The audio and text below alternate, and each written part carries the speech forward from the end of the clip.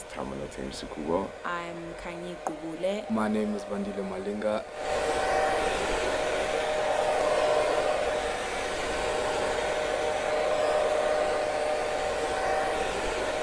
Our hair is very, like it's very versatile. You can you can do a lot. There's like cornrows, there are locks, knotless braids, you can do dreadlocks, you can have like faux locks. Hair salons, especially in South Africa, are a bit chaotic. If you are not used to a hair salon, you kind of feel like there's just a lot going on. The order is never really the order that you expected. You might be there first, but be helped fifth. But they also have a very comforting um, vibe or feeling in terms of like the community.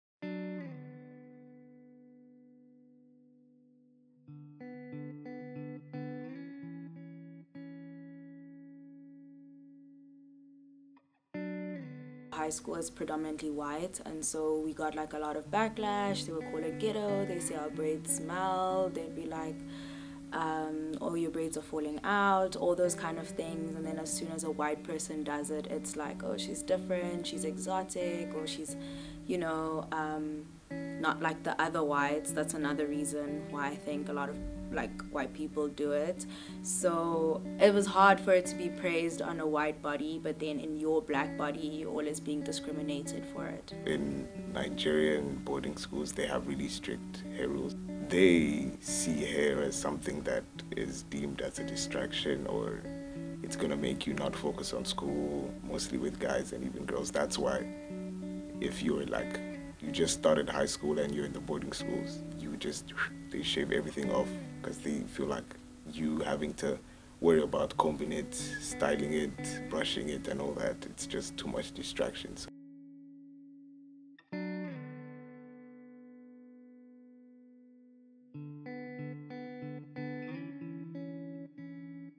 I actually had an interview about like a couple of months ago and had a bit of a panic because I was like, is my hair professional or not? So I had my hair backwards. In the site that's raised us to look at like whatever's Western or white, basically as professional. I've been almost um, conditioned to believe that what white people have or white people's hair is the best hair, you know, so the thin back hair. I just realized that no man, but this is my hair, you know, and yeah, I've I think moving forward, I'm just going to keep my hair as it is because it's my hair.